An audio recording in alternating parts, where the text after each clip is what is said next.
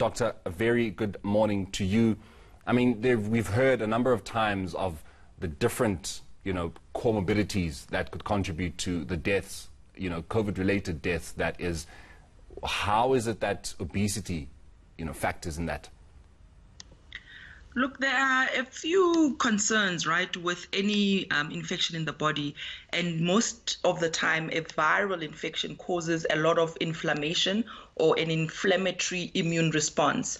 And so there are concerns just in terms of the coagulability of the blood. So the clotting of the blood um, can often lead to severe consequences for all the organs, including the lungs. And we know that COVID um, predominantly, um, you know, when it was emerging, they were talking about it being a respiratory um, illness. And so if your lungs are compromised by inflammation, by infection, um, you then will, um, in, in, in some severe and unfortunate um, circumstances, then have lung complications, respiratory failure, respiratory address, ad- arrest, and sometimes then even death because your lungs are just unable to facilitate the oxygenation of blood and the exchanging of deoxygenated blood from your heart and then into the rest of your body. So it is about an immunological response and how some illnesses um, make that immune response quite severe, and then your body is unable to cope with the inflammation. How high a risk is obesity, doctor? How, how much does it leave you at the susceptibility of contracting COVID and even dying from it? Yeah. Look, um, it's not the only risk factor, right? We know ab- about other comorbidities like um, diabetes, for example, like um, hypertension, the extreme of age, so the very elderly, people who have underlying lung um, conditions.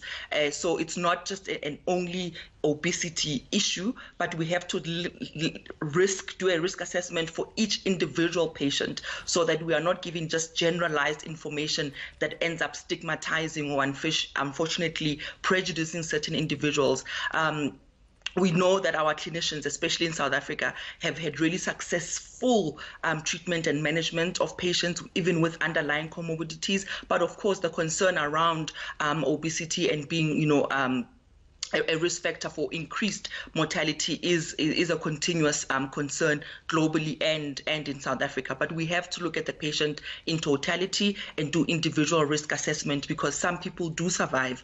Um, so we just have to be cautious, um, you know, in how we, we communicate so that we don't end up stigmatizing um, or, or eventually then leading to discrimination of certain people. Doctor, you're saying you and other partners are saying that you know efficient nutrient labels on food will go a long way to helping with this cause of curbing obesity and the deaths of COVID-19 related to obesity. How do you how would you like to see this happening?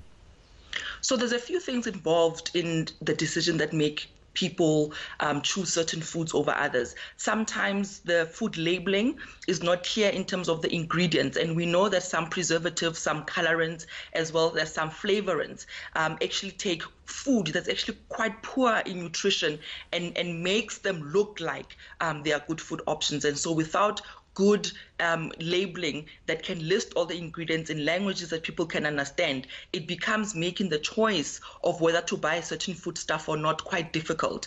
We know that the right to information is a human right, and we know that with good information, people are then enabled to make better choices. We also have to think about the issues of, especially in the developing countries, of how poverty marginalizes people. Um, the, the people don't have access to money to buy what's often is seems as luxurious food, but actually when you're looking at the nutrient value, it's actually quite unfortunate and it's an injustice that people who are poor are, are left with poor food options and foodstuffs, uh, foodstuffs to, to then buy or afford versus people who are in a in upper class in, in societies. And so we know that even the food insecurity problem that COVID is now bringing globally, but also to South Africa, there has to be a much bigger effort on states and governments to make sure that people are not left so destitute that they are actually then not able to have good, nutritious food.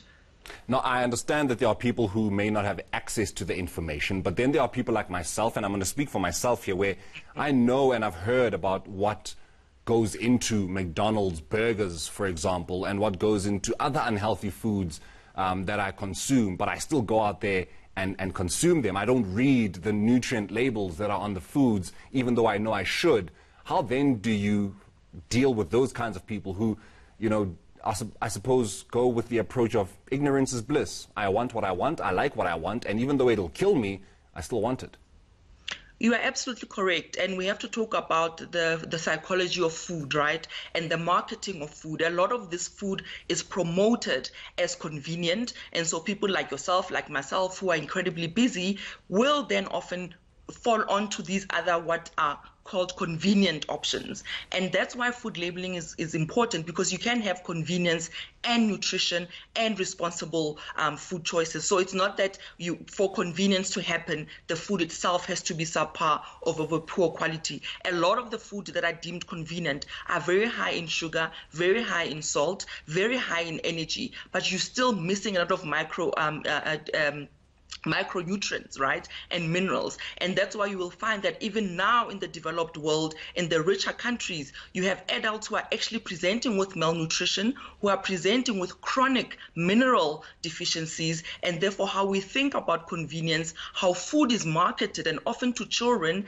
incorporating cartoons, incorporating music, incorporating um, sort of popular culture. We need to be aware of how psychology and the fact that humans naturally want and take and derive pleasure from food. We need to understand how some of those are used against us as consumers. But to your point, you can have convenience, you can have good, nutritious food, and make informed decisions. Whether you end up taking that um, decision yourself as, as, as, as a person, Morena, it's still up to you, but you need to be enabled in terms of legislations, in terms of options, because also if you only have one fast food place in your area and no other alternatives, then are you really making a choice? That is Dr. Tlaleng Mofokeng, who is the Special Rapporteur to the United Nations Human Rights Council, calling for more efficient nutrient labels on food as to curb obesity because it is seen to be one of the major causes of COVID-19 deaths.